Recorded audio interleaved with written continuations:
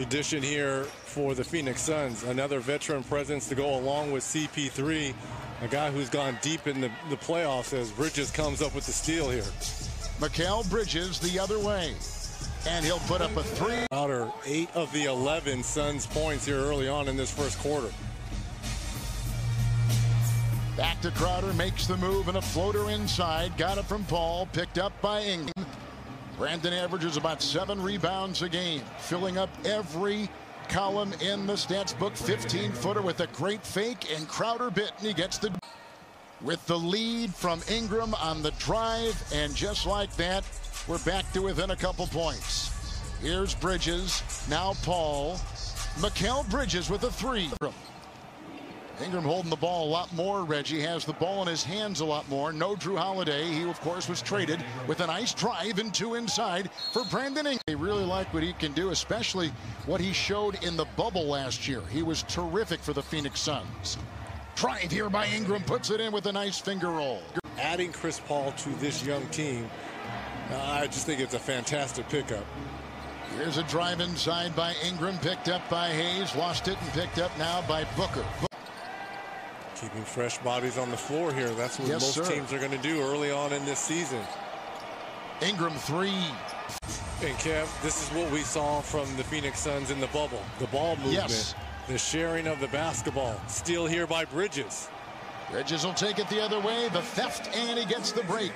Cameron Payne and you know Jevon Carter as well for Monty Williams and this Phoenix Suns. Biggest lead right now at 20. Long range shot won't drop in. Phoenix has made their last five. Here come the Pelicans. Adams back in, drops it off for Ingram. Into Adams, off his fingertips. Phoenix in command, as is Paul. Switch on D with Adams. It's a Johnson three. Here comes Booker. He's been quiet. Big start for Crowder. His three to get things going here. Batted out by Bridges. Back to Paul. And they get the 50-50 ball. Crowder with a three. Zion Williamson working down low. He's got 16. Ingram in the wing and a three with a rebound. That shot was way off. It's Booker with a three. If you would have said that five from Booker and nine for Paul and they'd have a lead as big as it is now, that's a nice shot by Ingram, falling out of bounds. Shot by him. Of course, he's known for that three-point shooting, 36% a year ago.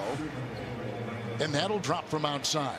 Bridges always has had that ability. He has 13 points tonight, so he's right up there with his season average.